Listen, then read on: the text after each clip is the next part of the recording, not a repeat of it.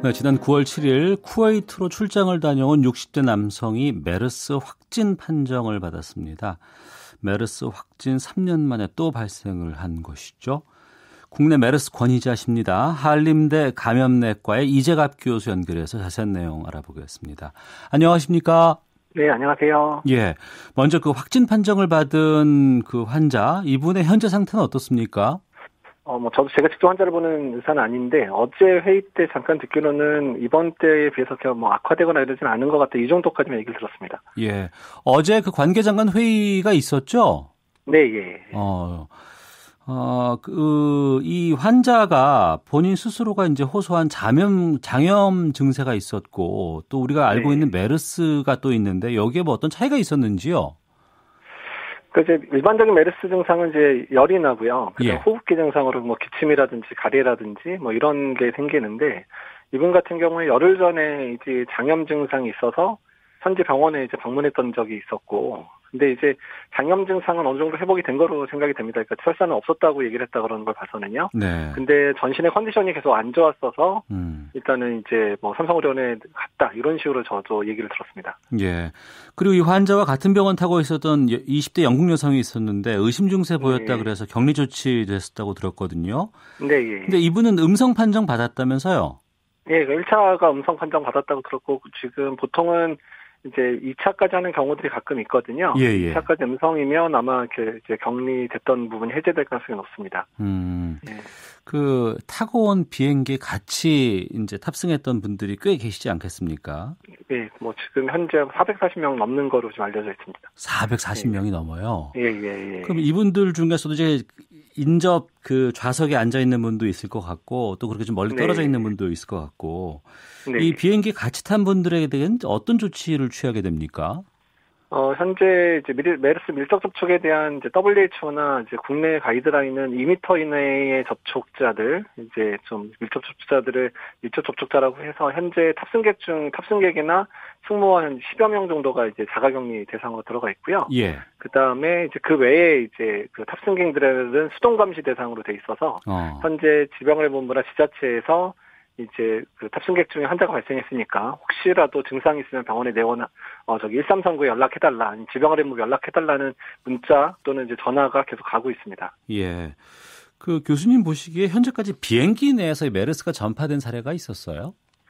그러니까 메르스는 현재까지는 보고된 사례들 제가 오늘 아침에 찾아봤는데 없었고요. 어. 그리고 사스 때는 한 차례 좀한 열 몇 명까지 발생한 적이 있긴 있습니다. 근데 예. 워낙에 사스에 비해서 메르스가 지역 사회 내에서의 감염은 조금 덜 발생한다 이런 얘기가 계속 있었거든요. 음. 그래서 아마도 지역 사회 내 전파나 이런 양상은 메르스가 좀 더 약한 것 같고요. 네. 현재까지는 제가 좀 이제 찾아본 바로는 아직까지 없습니다. 예.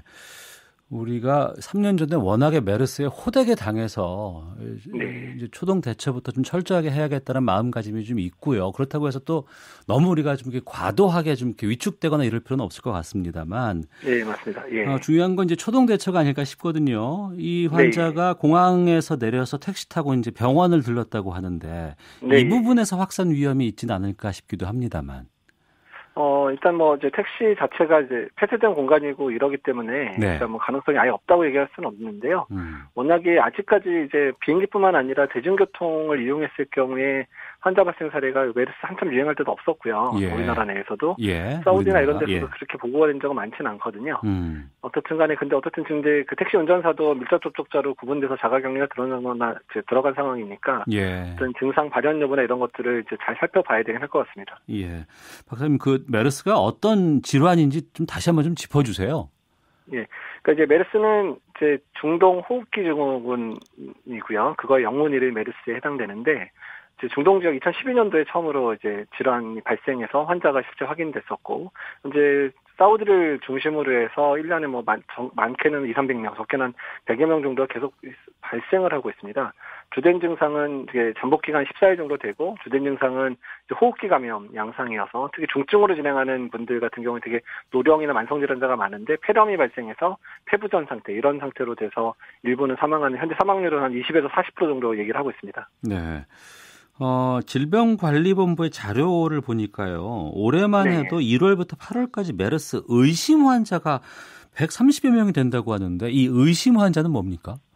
그러니까 의심 환자는 이제 중동 지역에 여행력이 있으면서 예. 그러면서 호흡 이제 발열이 7도 37도 5 이상의 발열이 있으면서 호흡기 증상이 있는 환자들을 의심 환자라고 지칭을 하거든요. 예. 그러니까 실제 이제 메르스 의심, 본인이 메르스 의심된다고 하거나 의료기관에 혹시라도 의심된다고 신고 자체가 됐던 건은 900건이 넘습니다. 그 중에서 어. 이제 확인했더니 실제 의심 환자, 예. 그러니까 메르스 의심이어서 국가지정격리병상에 이제 입원해서 이런 검사를 진행했던 사람이 139명이라는 얘기입니다. 음. 그 의심 환자들 뭐 130여 명 중에서 모두 다 음성 판정이었다는 결과만 보면은 현재까지는 이 메르스에 대한 그 우리 관리가 잘 대응되고 있다 이렇게 볼 수 있을까요? 예, 그 일단 이제 두 가지 측면인데 정부 당국 보건 당국도 메르스에 대해서 2015년 이후에 많은 변화들을 이제 준비를 했고 또 병원들하고 협력해서 병원들의 상황들도 이제 잘 고치도록 해서 권장을 했었고요. 네. 병원들도 네. 실제로 2015년에 고생했던 병원들도 많고 그러니까 음. 실제로 뭐 훈련 모의 훈련이나 이런 부분도 철저히 받고 있었습니다. 그래서 실제 환자가 내원했을 때 어떻게 되는지에 대한 부분들을 이제 잘 교육을 하고 있었고요. 원 이제 그 의료인들한테 게다가 이제 시민의식도 많이 향상이 된 게 예전처럼 그냥 연락 오려면 그냥 병원도 바로 가고 이런 게 아니라 실제로 1339 같은 질병관리 본부 콜센터 같은 데전 연락을 해서 내가 이런 증상이 있는데 어떻게 하면 되느냐. 그래서 그렇게 돼서 지시를 받고 그래서 보건소에서 실제 구급차를 보내서 환자를 이제 이송하는 그런 과정들이 아주 체계적으로 잘 일어나는 상황들이 많이 발 생하고 있거든요. 그래서 네. 전반적인 상황들 시민의식도 좋아지고 또한 음. 정부의 대응 체계 또 병원의 대응 체계도 많이 좋아졌다고 얘기할 수 있습니다. 예. 그 질병관리본부에서 그 2015년 이후에 메르스 감염에 대한 뭐 매뉴얼 같은 것들이 좀 바뀐 게 있나요? 어, 지금 매년 지금 개편 작업을 하고 있고요. 올해는 7월 달에 이제 마지막으로 개편이 돼서 나왔습니다. 예. 그 어제 국립중앙의료원이 추가 확산 막기 위해서 이제 메르스 비상대책 TF를 가동했습니다. 네. 어, 이번에는 이 TF는 어떻게 구성되고 있는지도 좀 소개를 해 주세요. 어, 그러니까 이제 국립의료원 TF는 이제 병원 자체에서 워낙에 국립의료원이 국립 국가감염병 전문병원이어서 메르스 환자나 이런 환자가 많이 발생 했을 때 환자 관리 역할은 중추 역할을 하는 거에서 이제 아마 구성이 된 것 같고요. 예. 워낙에는 이제 메르스 환자가 한 명이 진단되면 그 단계가 이제 그 재난 단계에서 이제 관심에서 주의로 확산되게 되고 주의 음. 단계부터는 질병관리본부가 그 방역 방역 대책 본부의 주도권을 가지고 해서 활동을 하게 됩니다. 네. 그래서 네. 현재 방역 대책 본부가 이제 구성이 돼서 가동이 시작된 상황입니다. 음. 메르스가 무섭고 위험한 것이 이제 뭐 치료법 방법이라든가 예방 방법이 전혀 뭐 없지 않나 뭐 이런 얘기가 들리는데 예방법은 있지 않습니까? 어때요? 그 기존 기본 예방 방법들은 일단 이제 노출이 안 되면 그러니까 네. 뭐 감염자한테 노출이 안 되면 또는 뭐 감염된 낙타에 노출이 안 되면 이제 발생 자체가 안 하는 거잖아요. 예. 그러니까 일단 이제 중동 여행을 자제하는 부분들 그다음에 특히 중동 여행했을 때 낙타 주변에 가지 않는 거 그리고 어. 병원에서 이제 발생자를 통해서 또 그 전파되는 경우가 있으니까 중동적으로 병원 방문은 최대한 자제하도록 부탁을 드리고 있거든요. 그러니까 예. 그런 행동을 잘 해주시고 혹시라도 그런 중동 여행력이 있는데 국내 들어왔는데 증상 생기면 빨리 1339 신고해서 바로 이제 조치를 받게 하는 그런 식의 상황들이 뭐 예방도 되는 편이고 또 혹시라도 진단이 됐을 경우에 빨리 치료를 받을 수 있는 기회도 되는 거기 때문에 그렇게 대응을 해주시는 게 좋을 것 같습니다. 예, 사업차 일 때문에 중동 지역을 방문하시는 분들도 계세요. 네. 예. 앞서서 노출이라고 말씀하셨는데 직접적인 네. 접촉만 문제가 되는 건지 아니면은 어, 공기 중에 접촉도 감염 가능성이 있는 건지도 좀 알려주시죠. 어, 이제 전파 경로를 아직까지 완벽하게 이제 밝혀졌다고 얘기를 안 합니다. 그러니까 통상적인 비말 감염 형태라고 얘기는 하는데 네. 지역 사회에서는 비말로 전파된다고 할지 못할 정도로 이렇게 지역 사회의 발생이 많지는 않거든요. 음. 그 근데 이제 병원 안에서는 또 비말 패턴으로 아주 많은 환자들이 발생하는 그런 패턴을 가지고 있어서 그래서 네. 이제 전파 경로는 명확지 않지만 비말 전파 가능성이 높다. 음. 그 다음에 이제 바이러스가 이제 이런 그 마른 그 마른 표면 같은 데서 바이러스가 하루 이틀 정도는 사회 생존할 수 있다는 보고들이 있어서 네. 이런 오염된 환경을 통해서 전파 가능할 수 있겠다. 이 정도가 현재 알려진 전파 경로입니다. 그러니까 비말이라고 하신 거는 우리가 기침 같은 걸 했을 때그 무의식적으로 튀어나오는 얄, 그 작은 침 알갱이라든가. 이런 예, 것들. 예, 맞습니다. 침방으로 얘기하는 거죠. 예. 예, 알겠습니다. 그 이번에 그 쿠웨이트 같은 경우에는 쿠웨이트 현지에서는 메르스 환자가 최근 잘 발생하지 않았다고 하는데 이분은 쿠웨이트 갔다 와서 이 확진 판정을 받았어요. 예, 그러니까 2016년 8월까지 쿠웨이트 환자가 발생을 했는데 이후에 없었다고는 돼 있는데요. 예. 워낙에 중동 지역은 뭐 낙타도 많을 뿐만 아니라 또 어. 인력 교류들이 많잖아요. 여러 국가들끼리. 아. 그렇기 때문에 수시로 이제 환자들이 이제 들어왔다 나갔다 하는 이런 가능성이 있기 때문에 예. 중동 지역에서의 발생은 또뭐 또 이렇게 아주 흔한 상황이 게다가 중동 지역은 이제 이런 메르스 발생 상황이 일상 상황 상황이기 때문에 음. 우리나라처럼 아주 막 엄격하게 관리하고 이런 정도의 수준은 아니거든요. 예. 환자가 많이 발생하다 보니까 이제 그래서 환자가 아예 진단이 안 된 환자들이 있을 가능성도 있습니다. 예. 이게 예방 백신이라든가 치료제가 발명이 좀 됐으면 좋겠는데 아직 그 연구들은 어떻게 되고 있나요?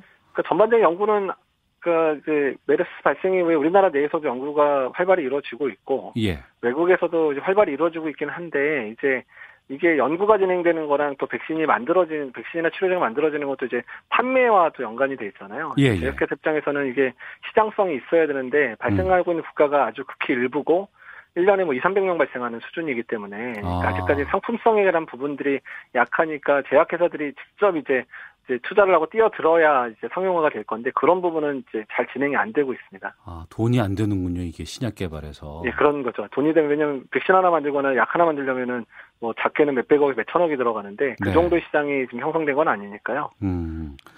언론에서 의심 증상이 발생하면 의료기관 방문하지 말고 1339 네. 또는 보건소로 신고를 해야 합니다라는 문구를 많이 홍보를 하고 있습니다.